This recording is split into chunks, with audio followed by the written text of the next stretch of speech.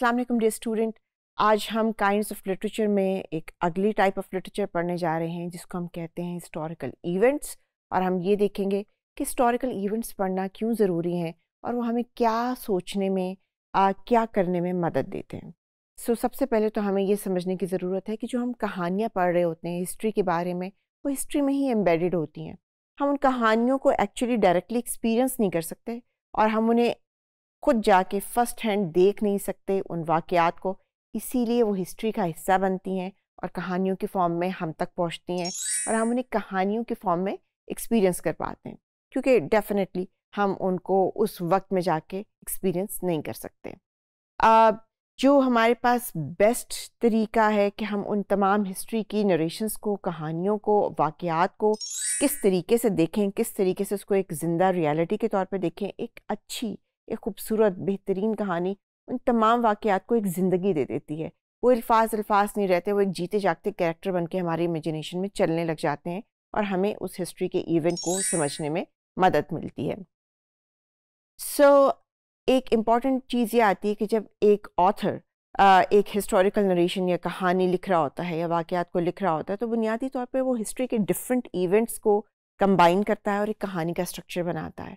और उसके कहानी के अंदर डिफरेंट टाइप्स की इंफॉर्मेशन होती हैं जो उस वक्त और उस ज़माने के अंदर हो रही होती हैं। तो आप अपनी मुताला पाकिस्तान की किताब ले लें, उसके अंदर आपको बहुत से वाक़ात मिलेंगे जो आपके दौर हाजिर के वाक़ात नहीं हैं, तहरीक पाकिस्तान के वाक़ात हैं, उसमें लोगों की स्ट्रगल है।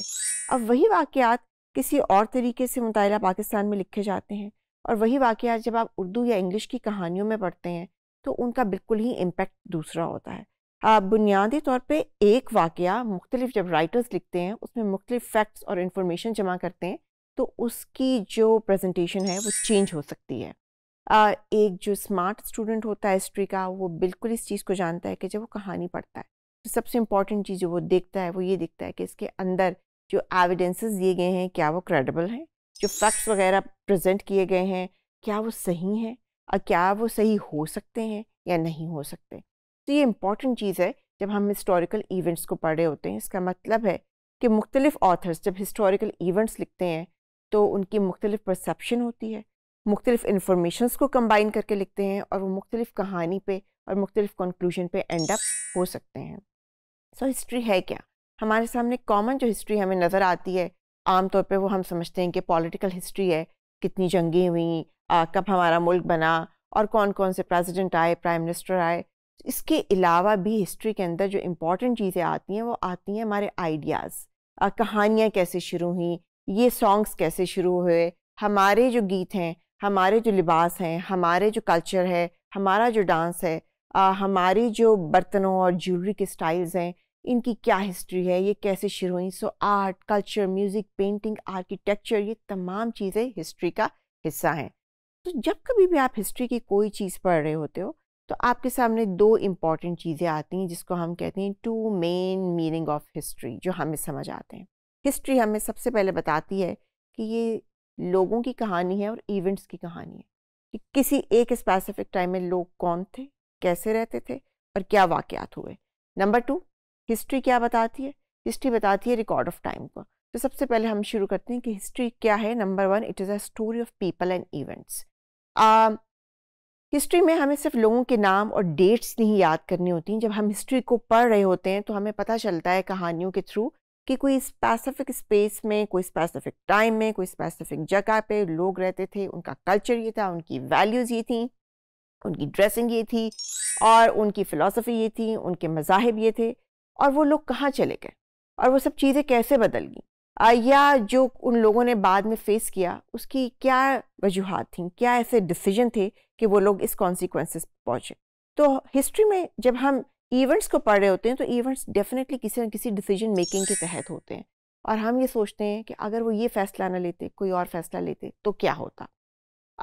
नंबर टू चीज़, बच्चों को हमें बहुत ढेर सारी हिस्ट्री और नरेशन और पढ़ाने की ज़रूरत नहीं होती। हम बहुत कम, थोड़ी और बहुत interesting part of the history पढ़ा सकते हैं। बच्चे जब इन डेप्थ तरीके से उस हिस्ट्री को पढ़ते हैं, मुख्तलिफ़ ऑथर्स को पढ़ते हैं, वो ये देखते हैं कि हमने फैक्ट्स और एविडेंस से कैसे इस चीज़ को देखना है कि क्या ये कहानी सही कहानी है या नहीं कहानी, क्या ये प्रेजेंटेशन ऑफ़ पीपल और इवेंट सही है या नहीं है। तो इससे बुनियादी तौर पर वो मुख्तलिफ़ पर्सपेक्टिव को रीड आउट कर सकते हैं और उनको पता चलता है डिफरेंट ऑथर किस तरीके से डिफरेंट नतीजे पे पहुँचते हैं जब वो एक ही इवेंट को बयान कर रहे होते हैं।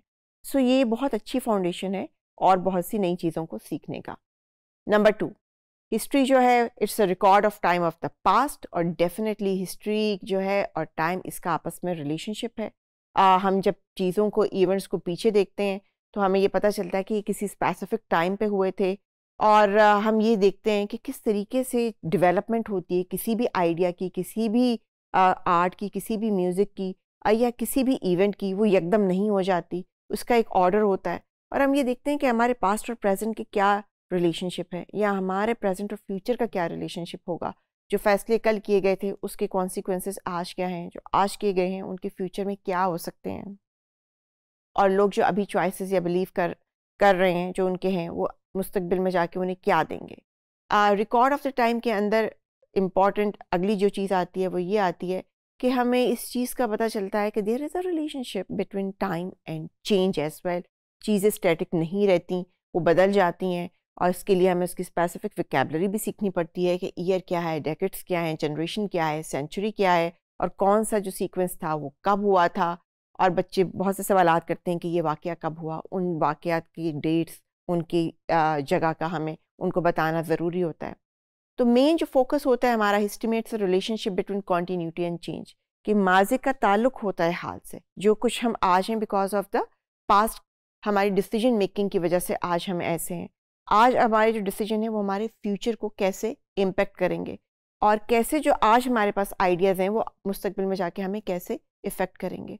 आ, बच्चों को आ, जब हम हिस्ट्री पढ़ा रहे होते हैं तो इंपॉर्टेंट चीज़ जो हमने उनको दिखानी है कि जो आप कहानियाँ पढ़ते हैं उन कहानियों के अंदर से आपके क्या चीज़ें हैं जो आपने फाइंड आउट करनी है जिससे आपको पता चले कि इस कहानी में जो इन्फॉर्मेशन है वो कितनी ऑथेंटिक है। इससे क्या होता है? आ, ये बच्चों को क्रिटिकल थिंकिंग स्किल्स इससे बिल्डअप होती हैं बच्चों के अंदर और बच्चे क्रिटिकली स्टोरी को देखते हैं। क्या सवाल बच्चे कर सकते हैं?